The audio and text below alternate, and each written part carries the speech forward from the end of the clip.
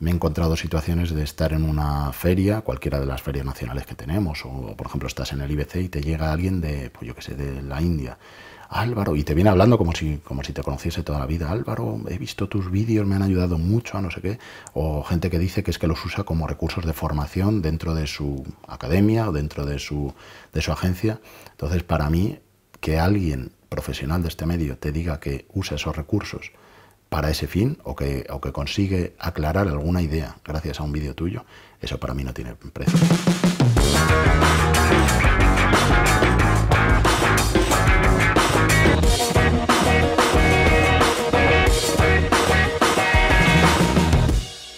Curiosamente empezó por, desde el punto de vista de audio, no soy puramente de, de vídeo sino que cuando tenía, pues lo típico, 14, 15 años, me gustaba mucho la música electrónica y la electrónica, ya entraba el mundo digital, y me gustaba investigar por qué y cómo funcionaba aquello. Entonces de ahí viene el germen eh, tuve la suerte de que entré por dos centésimas en la carrera que quería, que era, que era Teleco, y, nada, un día me llamó Sony y, entré. ¿Cómo, ¿Cómo, ibas a rechazar una, llamada por parte de Sony? De hecho, siempre he pensado que entré en el trabajo de mi vida demasiado pronto.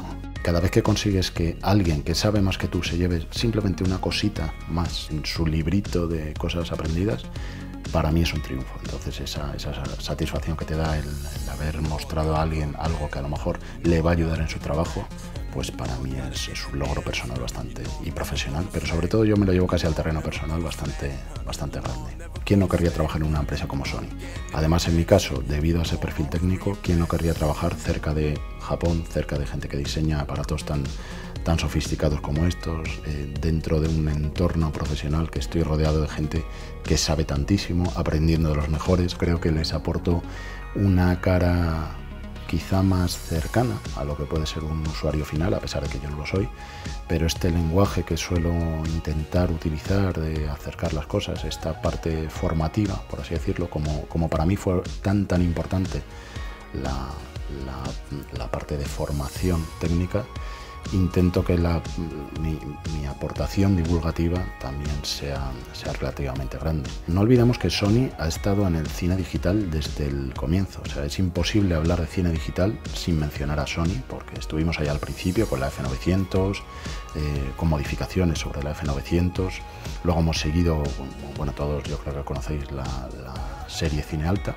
yo creo que lo más distintivo que podemos aportar nosotros es que tenemos toda la cadena de producción. Tenemos sistemas de, mezcla para, para broadcast, tenemos cámaras robotizadas, tenemos distribuidora, tenemos Columbia, tenemos Ojo de Halcón, que pertenece a Sony, tenemos las series de, televisión, las Bravias, tenemos series de, televisión, yo qué sé, el Breaking Bad, por ejemplo, sin, ir más lejos. Entonces, toda esa conjunción eh, hace que seamos posiblemente la compañía con más eslabones dentro de la cadena audiovisual que, existe. Pues básicamente sería la persona que, que, intenta ser la referencia técnica dentro de la marca. Es decir, posiblemente sea el perfil más cercano a un usuario final, a pesar de que no lo soy, no soy dire de foto, no soy operador de cámara, tengo gran admiración por esos, por esos llamémosle, roles, esos, personajes dentro de, la industria. Y yo lo que intento es dar una ayuda, ser una cara visible. Eh, es decir, por un lado estoy muy a pie de campo, pero por otro lado también tengo el privilegio de tener mucha relación con, Japón. Entonces, mucho de, esa retroalimentación, de ese feedback que recibimos tanto por parte de los clientes como, por parte de nuestros distribuidores, empresas de alquiler, eh, como nuestras propias opiniones, es, para mí relativamente fácil eh, dirigirlas hacia, hacia Japón. Otra cosa es que ya luego la velocidad de implementación de esas mejoras o la prioridad de, de implementación sea distinta de la que nosotros demandamos. Pero por lo menos tenemos la posibilidad de coger el, chat, coger el teléfono y hablar con compañeros cara a cara, que son las mentes brillantes que han diseñado y que han implementado todas estas, estas herramientas. Todo surgió de repente de decir, oye, pues a lo mejor si en lugar de hacer solo presentaciones eh, cara a cara con mis, con mis clientes, hago un vídeo en el cual puedo mostrar más o menos lo que es esta cámara, cómo se utiliza tal cosa o tal concepto tecnológico, puedo estar llegando a más gente. Entonces simplemente surgió como una iniciativa personal, sigue siendo una iniciativa personal, abierta a patrocinios, aunque, sean de la competencia, bueno, hasta aquí la broma, Y, y, lo bueno es que dentro de lo que cabe tengo mi propia libertad, porque como digo es mi propio canal. Obviamente va en conjunción con ciertas, ciertos parámetros o ciertos criterios de Sony. Es decir, si vamos a lanzar una cámara, pues obviamente voy a hablar más de, esa cámara. O si sale una nueva versión de firmware, hablo de cómo se actualiza o para qué nos va a servir. Pero, pero lo bueno es que tengo esa libertad, aunque a veces, bien es cierto que cuesta, cuesta mantener esa, esa libertad y esa objetividad, porque hay gente que lo considera una parte de la de la empresa y bueno, hay, hay veces que, no, no, todo es blanco o negro. Obviamente me he sentido muy muy expuesto. De hecho, si te lo tomas como algo personal, cada vez que recibes un, no me gusta, que no sé quién, quién será, pero al principio sí que dolía porque conlleva mucho esfuerzo, mucho trabajo. Esto lo hago todo yo solo. Eh, obviamente, a ver, Sony, Sony me proporciona las, las, cámaras, que son las que yo tengo de demo, pero al fin y al cabo todo el trabajo de, bueno, de, intentar iluminar como buenamente puedo en un espacio reducido de mi casa, con los recursos que, que tengo a, mis, a, a, mi disposición, editando por la noche, renderizando de madrugada. Todo eso es una, una iniciativa personal y, y, que al final, si no se valora en su justa medida, pues es, resulta un poquito desagradable. Entonces sí, sí que me he sentido expuesto, sobre todo como decía antes, porque cualquiera que, que mira mi, mi, canal normalmente sabe mucho más que yo.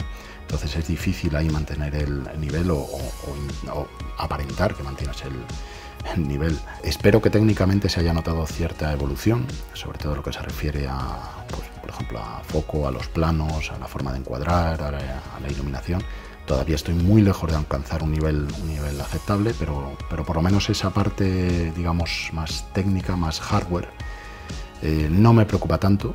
Delante de la cámara hablo exactamente igual, cualquiera que me conozcáis en persona, pues prácticamente hablo con el mismo tono. Intento no guionizar. Me apunto cuatro o cinco ideas, que de hecho ya lo veis en los vídeos, que hay veces que digo, a ver si se me ha olvidado algo, porque las tengo apuntadas al lado, pero intento no guionizarlo mucho.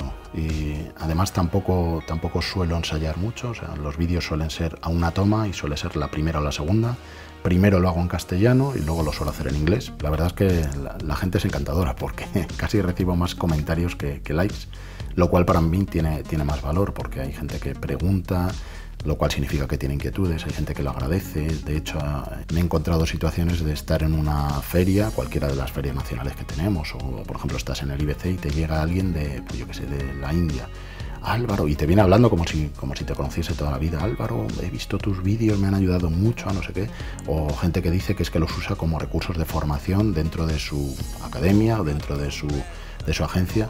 Entonces, para mí, que alguien profesional de este medio te diga que usa esos recursos para ese fin o que, o que consigue aclarar alguna idea gracias a un vídeo tuyo, eso para mí no tiene precio. Es curioso porque una vez que estás dentro de un entorno tan concreto como este, en, el, en el, medio audiovisual, yo creo que no hay tantas diferencias, sobre todo culturales. Eh, obviamente porque partimos de una base técnica. Entonces el, hecho de que tengas, yo qué sé, los fondos desenfocados o que grabes con 4K en RAW es igual aquí que en Pakistán o en La Pampa. Te da lo mismo prácticamente. Luego ya el uso o la narrativa, que es algo en lo que yo jamás me atrevería a meterme, obviamente cambia, eso ya es algo más cultural. Bueno, no, no hace falta más que ver mi, mi camiseta.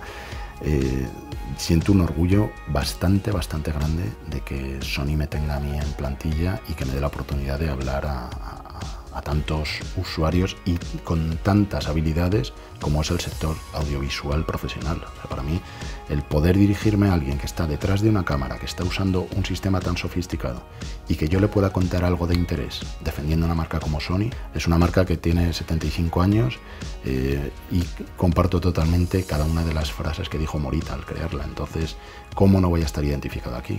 ¿Cómo, cómo no sentiría orgullo cualquier persona del mundo en trabajar en una marca como Sony? Por suerte, creo que la gente se está concienciando de que lo que, lo que necesita no es algo preparado para un futuro de aquí a 10 años. Necesitan un presente, pero lo que hace falta es aterrizar en ese presente. Y por ejemplo, el 4K para mí no es el futuro, es el presente. Hoy en día es, un, es algo distintivo, pero no solo el 4K, como digo, como resolución, sino el poder dar más niveles de señal, el poder dar unos espacios de color mayores, el poder dar un códec suficientemente consistente y de calidad para luego estar en una sala de color y sacar niveles de donde antes no los había o poder exprimir la señal todo lo que queramos. Creo que van los tiros por ahí. No existe, ni creo que vaya a existir nunca, la cámara perfecta, porque la cámara perfecta se da por hecho que es perfecta para todo el mundo.